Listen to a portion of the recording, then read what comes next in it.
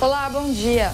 Nos Estados Unidos, desde ontem, o presidente Jair Bolsonaro vai se reunir nesta segunda-feira com o ex-secretário do Tesouro norte-americano Henry Henke Paulson. Mais tarde, ele participa de uma cerimônia de assinatura de atos e depois vai jantar com executivos do Conselho Empresarial Brasil-Estados Unidos. O encontro com o presidente Donald Trump está marcado para amanhã. Bolsonaro chegou a Washington na tarde de ontem e o primeiro compromisso oficial foi um jantar com representantes do movimento conservador americano. Participaram dessa reunião o escritor Olavo de Carvalho e o ex-estrategista de Trump, Steve Bannon. Bolsonaro está hospedado na Blair House, a residência de hóspedes do governo americano que fica em frente à Casa Branca.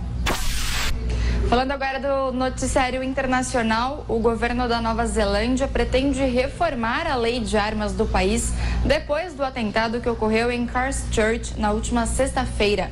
50 pessoas morreram e outras 50 ficaram feridas.